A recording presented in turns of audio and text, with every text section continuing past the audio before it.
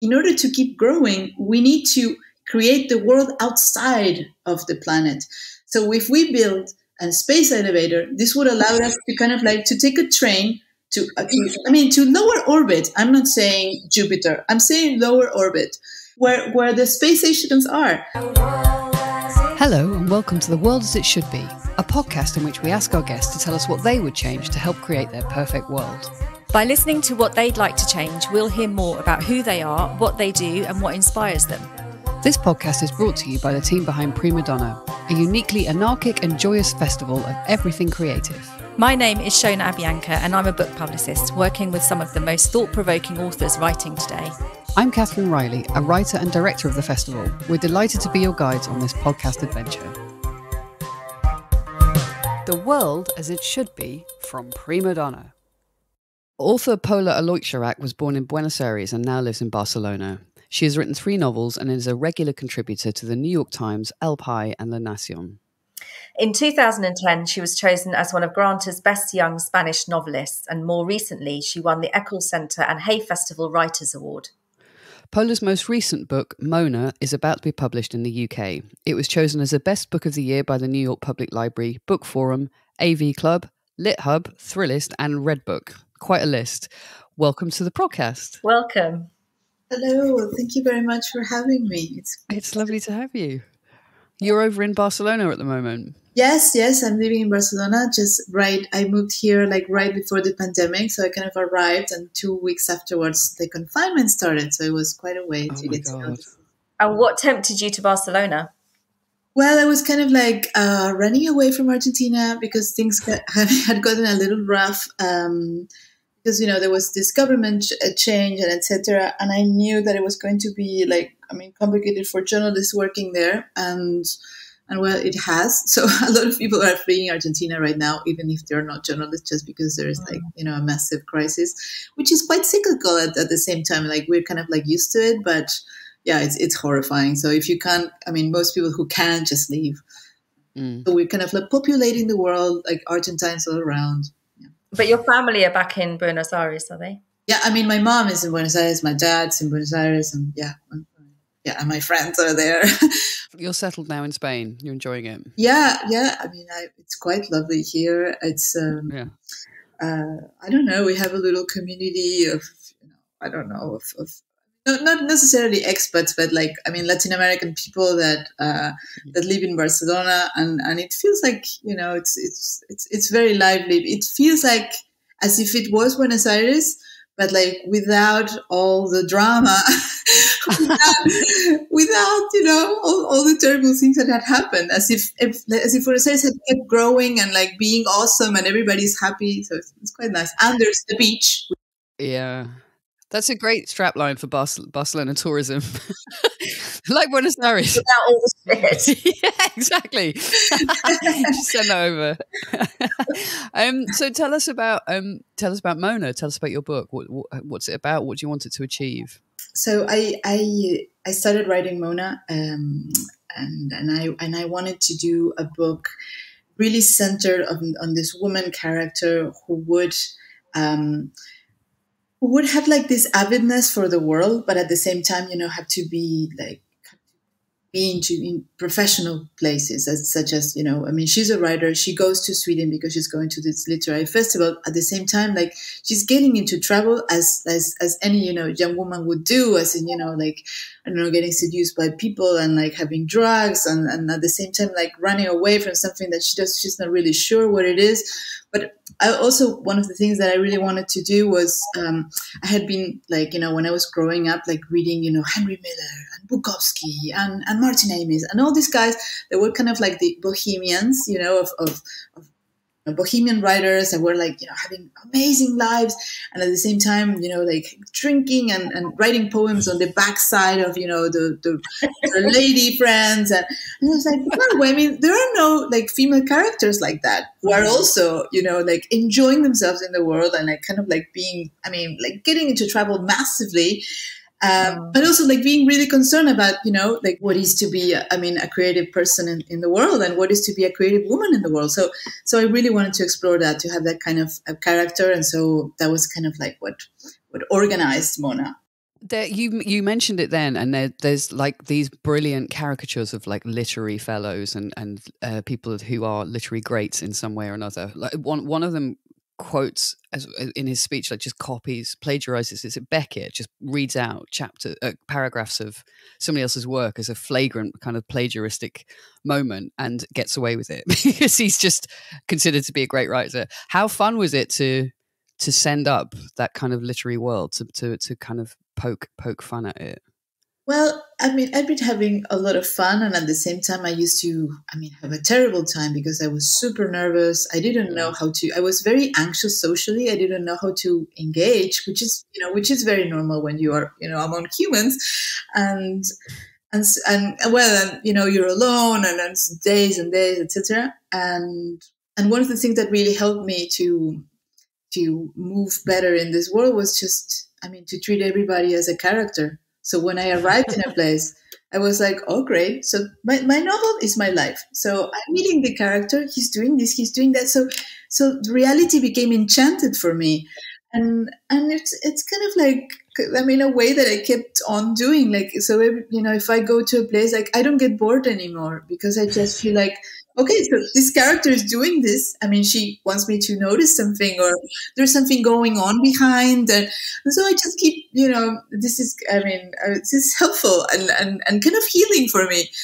And, and so, well, and at the same time, like, of course, I would like, after like having all these experiences, I would just, you know, go back to bed and write or take notes all the time. And so, this this was like really a, a way to be alive in the world and writing at the same time because I would be taking notes all the time.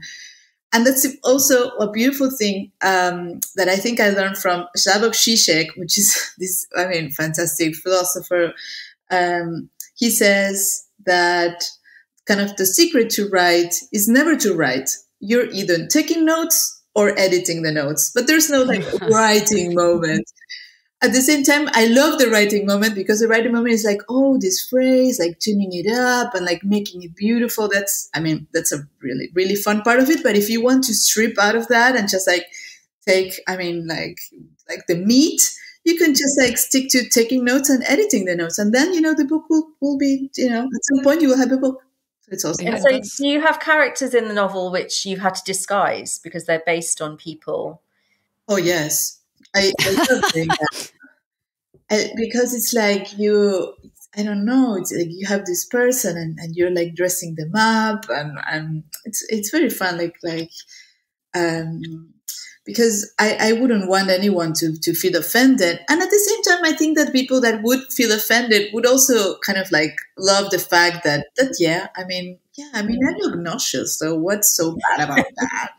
and so I, I, I, I don't know. I like I like that part. I, I like you know to I don't know to connect with humans in that sense because it's beautiful to kind of be out there and, and I don't know and be horrible sometimes you know and like there's some vanity out of it and well you know you were horrible but maybe you're going to make a great character in someone's book. Yeah but you, they were memorable. That's the thing isn't it? They say that indifference is worse because nobody really remembers. Yeah so I'll, I'll save them. I'll take them to literary I mean heaven in the form of a book There's some redemption for the horribleness. Absolutely. We, as you know, run a literary festival, so I'm already thinking of just record like putting a recorder in the green room next year this summer rather making a novel very quickly in that way but one of one of the people that co-founded our festival kit Deval is who's a, a novelist as well she says uh, don't fuck with writers will describe you which is exactly. basically what you're saying as well. It's a really good line. Yeah, yeah very very very uh, tricky people. Very yeah. when you kind of did you have a notebook? So when you were meeting all these people were you kind of then scurrying off and scribbling something they said because you don't want to forget it I don't think I even like go out without my notebook everywhere with me. Like I, it's like yeah, I move to the kitchen. I'm working at Pavlova right now. I have the notebook with me. Anywhere I go, it's just like it's there. It's going to be recorded, so watch out. Dedication. Well, don't write about us, please. You're too beautiful. I'm just, I'm, but I need more. well, we've got time. Let's strap in. what kind of pavlova are you making? Just you know, whilst we're talking about baking. I, I uh, well, I'm making the the strawberry pavlova. There, well, there's this recipe by Nigella Lawson that I love. Oh, Nigella is Nigella. Yeah, she's wonderful. Yeah, amazing. Yeah. So I'm so annoyed. This is virtual. Oh, amazing. Have you made her? Um, I'll tell you my favourite cake, Nigella's chocolate Guinness cake. Oh, I haven't tried that one. It's amazing. I, it's in, in a book called Feast. Oh, okay. Feast. Okay. so this is the third time Shona's mentioned this book, this cake, sorry, this week, and it's her birthday soon. So she keeps talking about this cake. I'm gonna have to fucking make this cake, and I. I have to wait till April. I can't wait. Oh, April is the best, the coolest month, but it's the best month as well. It is. It's your birthday in April. So nice. No, no, my, no. I was just quoting, you know, T.S. Eliot, but but oh. my, my, my birthday is on it's on September September 13th. oh, oh, that's my my mother's birthday, so that's also oh, a very good day. Anyway, perfect day.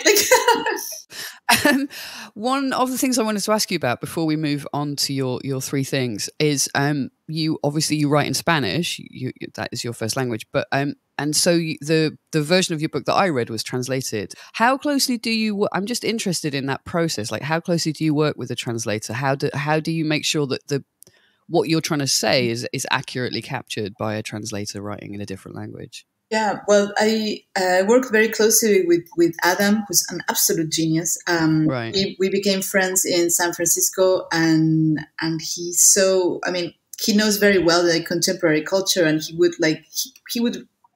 The thing is, when you're writing a book that has humor, you have to kind of like adjust the yeah. pitch when when you're moving on to another culture, which is you yeah. know the English language. So in order, you know, not to sound harsh or just like I don't know, maybe you know like not sound good. I mean, you really had to tune in the pitch, and, and he was great at that. And so we, we worked together, and, and it was great because I absolutely love him, and, and he's he's fantastic. He's he. I mean, he has he writes great prose. He wrote this book called American Messiahs. So he you know he knows a lot about like arcane Americana. Wow. Amazing. And so, will you be taking your book to festivals this summer? Is that part of your plan, or oh, is it COVID I dependent? Mean, if, if, any festival would have me, because I well, I can I can definitely invite you to one. I, I cannot wait to. I, I can bring the cake. Um, Amazing. Oh, well, then you're definitely coming. Headline slot. Amazing. Okay, well, let's talk about to that. The, to the Edinburgh Literary Festival in August. Okay, cool. And that's super, I'm super excited about that because I've never been to Scotland. Oh, it's beautiful. Edinburgh is absolutely beautiful as well, mm. and the mm. festival is so good. But Prima mm. Donna Festival is also good, and it's on the, the end of July. Yeah, yeah. Let's talk. Let's talk. Okay, let's move on to your um, your three things for creating the world as it should be, um, which is what we're all about. Do you want to um, explain the first one and talk us through it? The first one, oh, to end the dictatorships in in Venezuela and in Nicaragua and in Cuba. Six million people have fled Venezuela so far. I mean, we have engineers that are making odd jobs or cleaning toilets uh, in different parts of Latin America, even here in Spain. And, and of course, in Cuba, this has been happening since the 60s or before. Nicaragua is jailing writers. But the thing is, well, nobody has nothing to win anymore by saying, you know, this has to stop. It's like really like bad publicity for the US, for example, to stage a coup or things like that, like what they used to do in the 70s. So I don't know, maybe an alien abduction? I, I have no idea. How much does that impact on you growing up and your and your kind of understanding of politics and? Um, well, um, the crisis of Venezuela is very um, is very clear to us. It has been very clear since uh, since the uh, I mean 2010s, for example. I mean, people have been fledging fledging from there and and and staying in Argentina. So like everybody you you would meet who works uh, like you know are, are, Venezuelans. And and I, I mean I work as a journalist. I know a lot of people who can't um, who can't have works anymore who just I mean right. have been I mean pers- I mean persecuted or like I mean like, I mean threats to kill them and etc and had to leave. And in the same time at the same time I'm, I'm also in touch with with Cuban women journalists who suffer a lot. For example, they are sieged in their own houses. They cannot leave their houses for days and days because there is police outside that would take them to jail.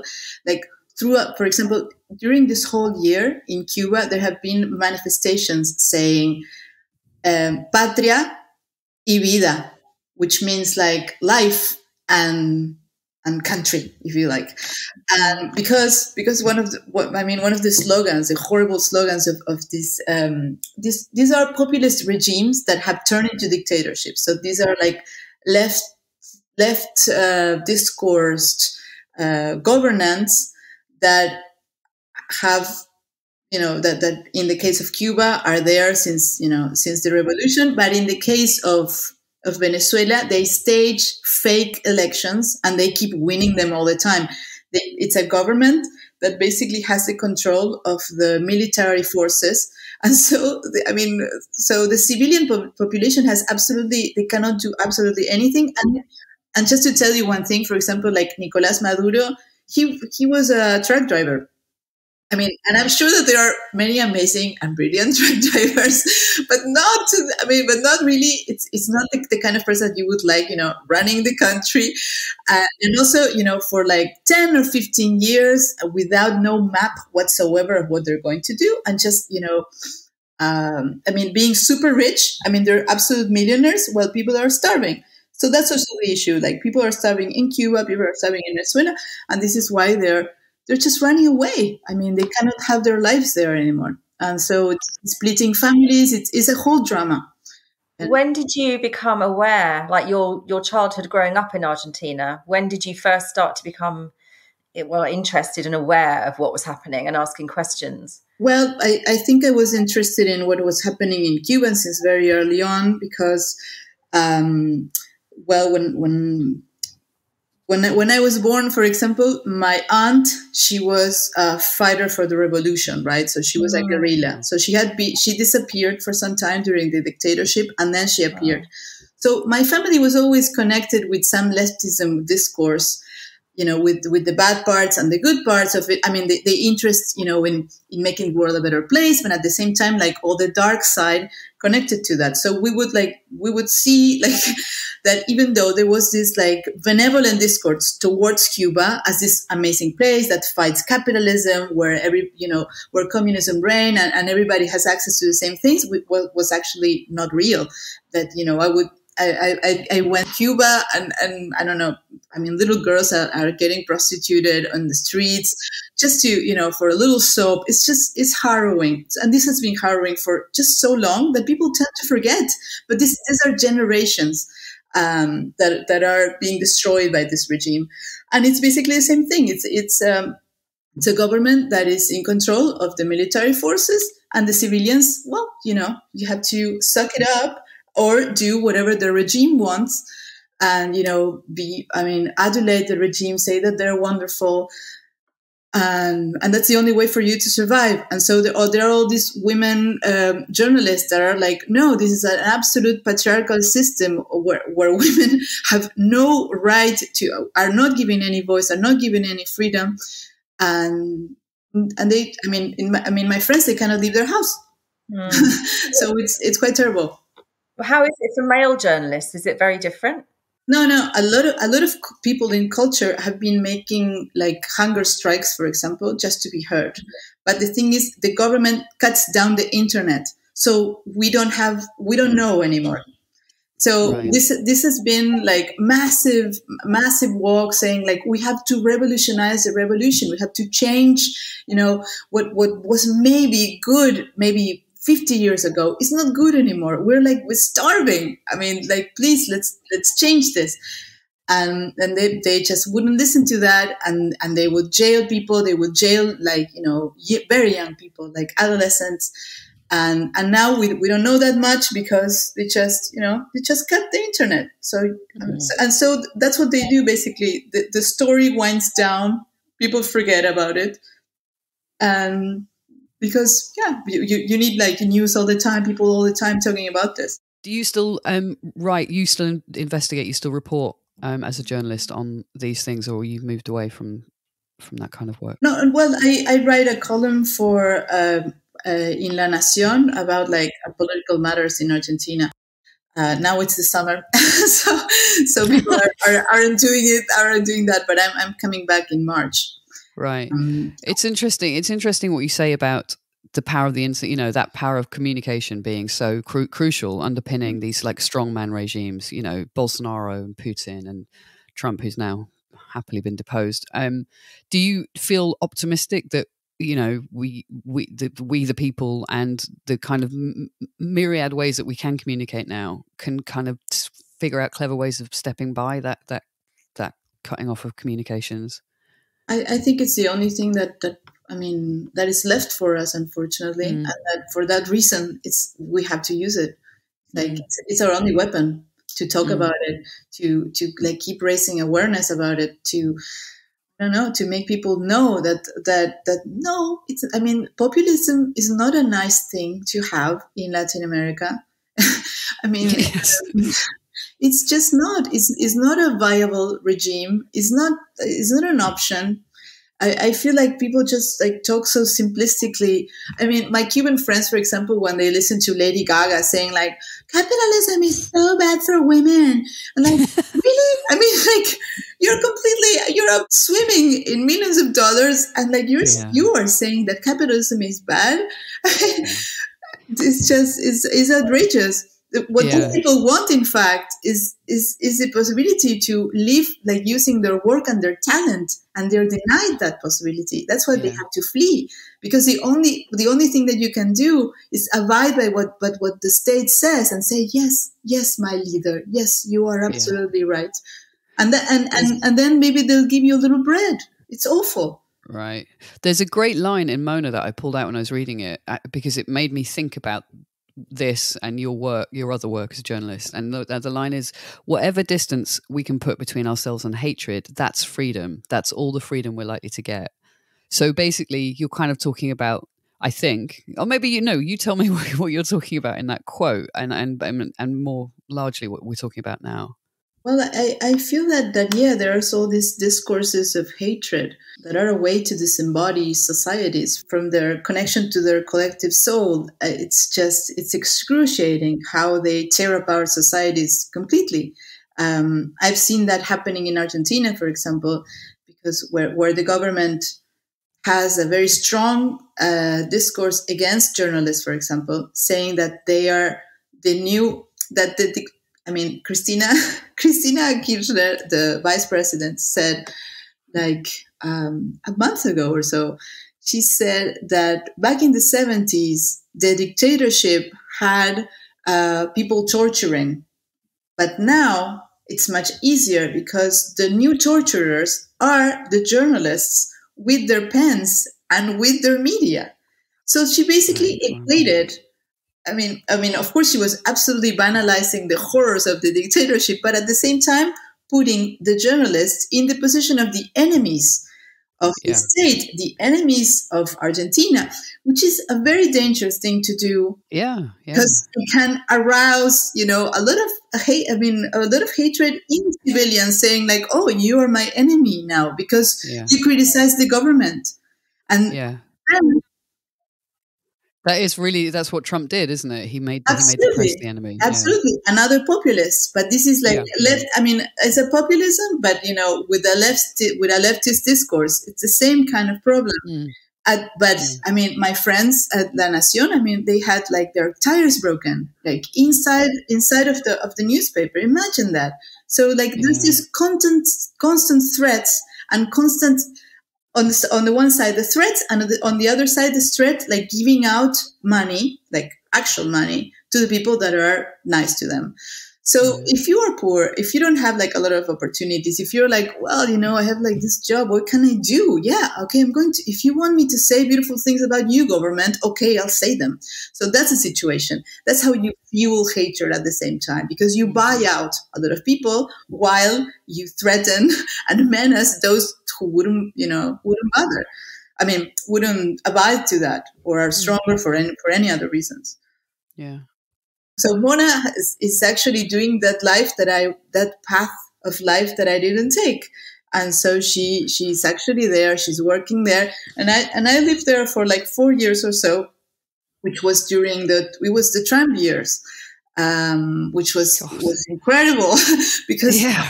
again an enemy. I was you know I was a person of color, which I didn't know by then because in Latin America, we don't, and in Europe, people don't use them. So for me, it was like I take a plane, I get inside the States, and I become a person of color. I take the same plane back back out, I just cross the frontier and I'm not a person of color. And maybe something ontologically changed in me uh, that made me a person of color in that place. And I don't know.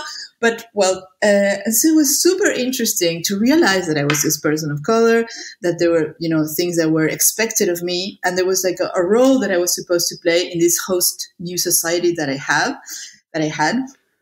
Uh, that I was in, and so this this was a lot of inspiration for Mona as well because uh, um, I realized that um, that in a way um, you're in you're you're you're typically I mean you're asked to do some lip service to the society that is your host. Because this this makes you know the society that is the host like feel like so generous and and, and wonderful. Like look we also have some people of color here talking. Like look at that. How amazing is that?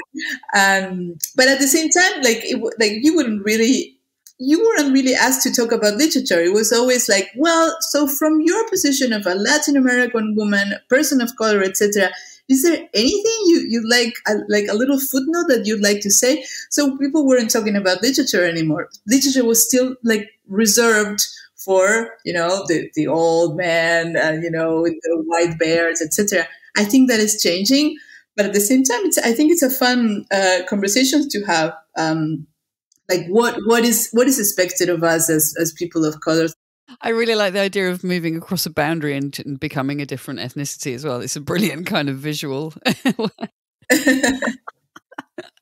Excellent. Okay, let's move on to your your second change. You want to explain that to us?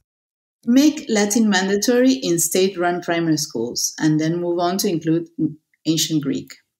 I think this would provide a lot of work for literary people, and the society would be definitely enriched because we would be less prone to be engulfed by politicians who use Latinate constructions as a way of sounding cultivated or clever.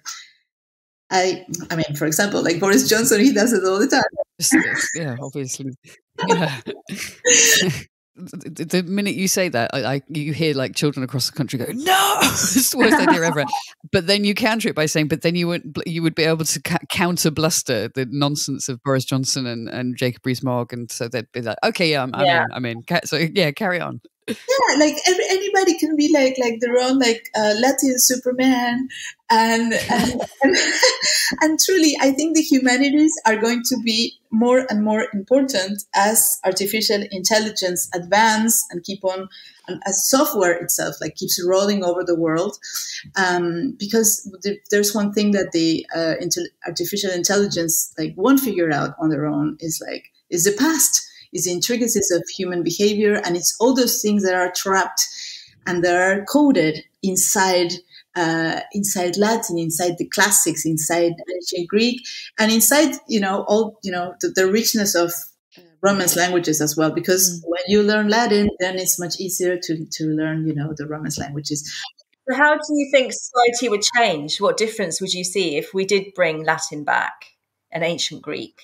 Would change us a lot because a lot of people would have like I, I mean for example um, you would have people teaching Latin. Everybody would be like oh like feeling the yum you know inside of them. It's the same way as they feel Shakespeare. They would feel like oh it's the innate.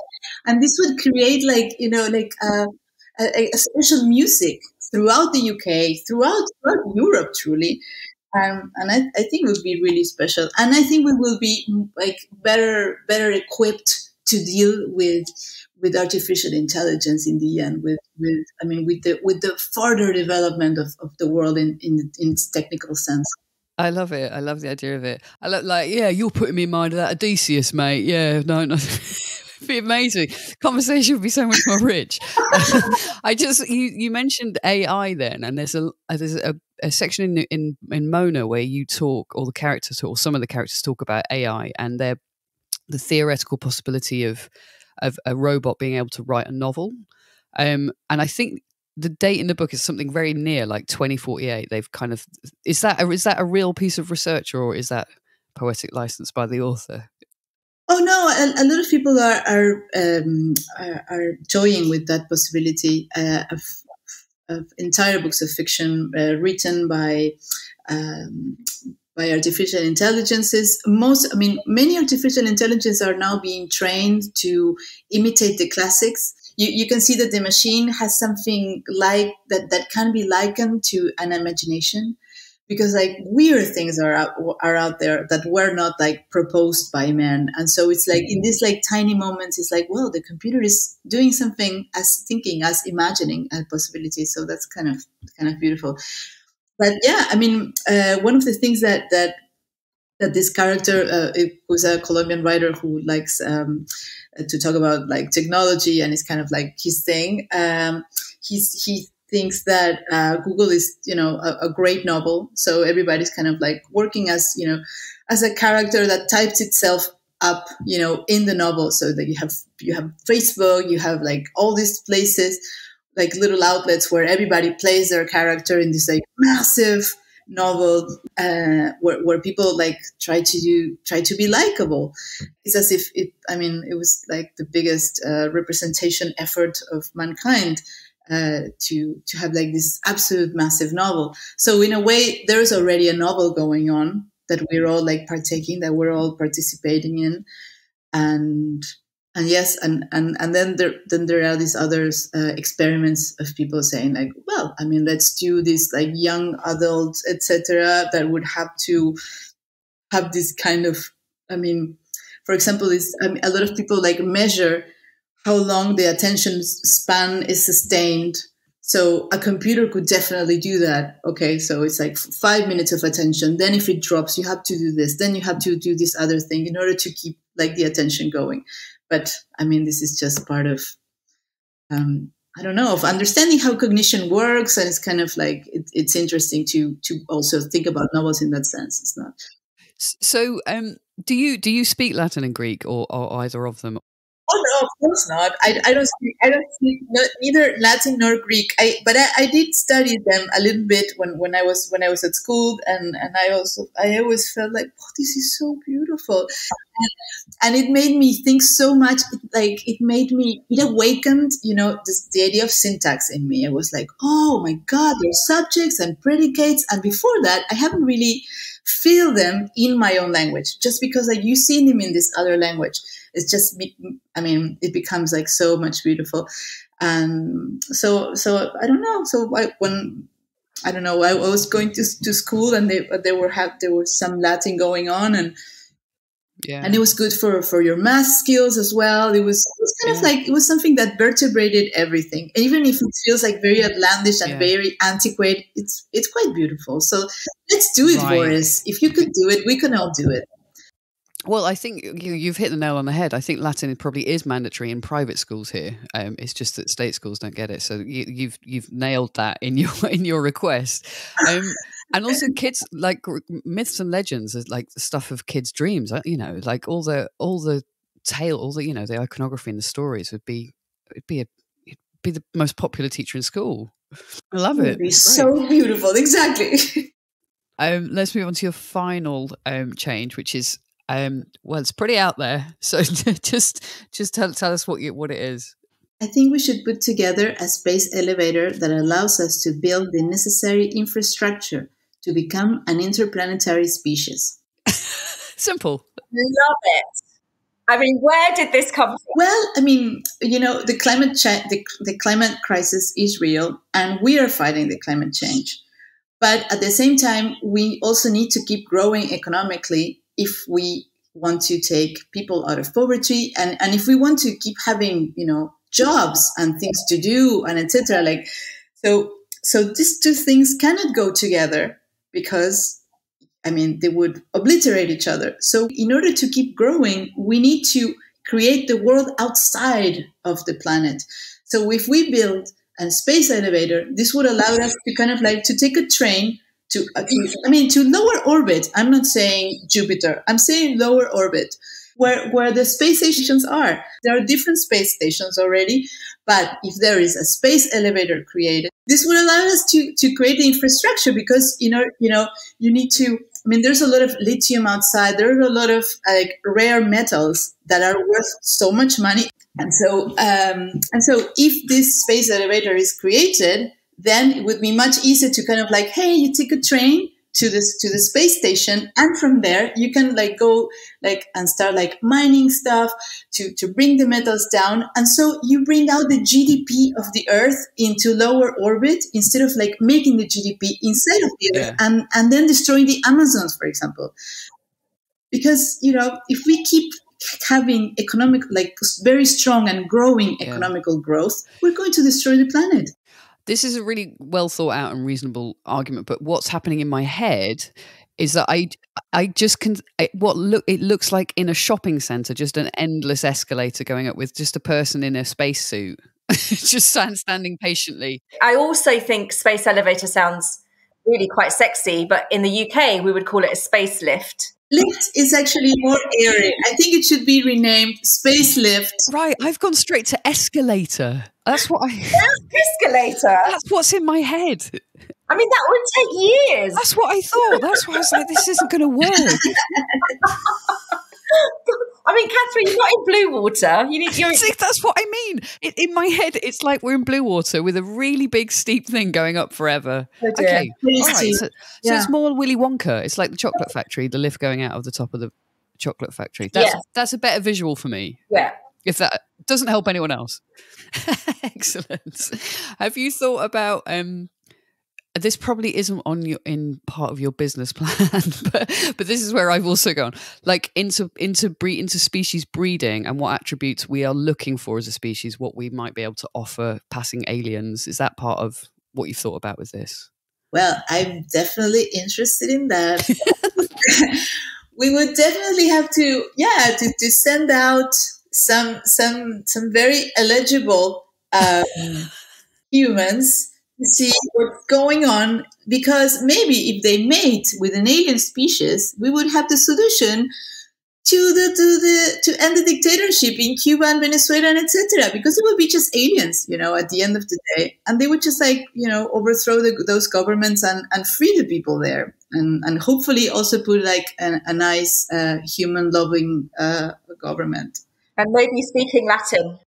Oh, what have you got any candidates for going? You know, the, the first breeders. Who would we send up? Oh, maybe, maybe because I with Boris, right? A lot of no, I, no, I because you the, said the best of our species, and that yeah, that. the very best. yeah, but, then, but then he doesn't come back. Like he just stays there. Well, I guess I guess we had to mend between ourselves. What can we do? Like, oh, I see. It's all a devious plot to put them in the elevator and send them off. I love it well, I, I, read that so many women are so uh, interested in him. I read I read in the UK press that did he write that? He might have written that. It's one of the wonders of the world. It's a great unsolved mystery how he's managed to have so many children with so many women. anyway, um, I like it. I'm sold. I'm completely sold on this idea. Brilliant. Um, on that note, um, thank you so much for coming on the show. What have you got lined up next? What are you doing? I, know you've got to take the pavlova out of the oven, but on a, a longer scale. Um, I well, we're doing a, show uh, at, at, Open Book and with the BBC uh, with Valerie Mans, who's a fantastic translator. She's translating Borges, and and I think that should be coming up like in two weeks or so. Um, Great. Yeah Brilliant. Yes, yeah, and I, and I really can't wait to, to go back to London. So so great. Well, we can't wait to have you. Yeah, and really really good luck with the book launch and and everything yes. that happens. And it was published yesterday, I think, wasn't it? Yes, yes, it just came out. Congratulations, yeah, it's fantastic. It's a fantastic book. All right, thank you again. Thank you. Thank you for having me.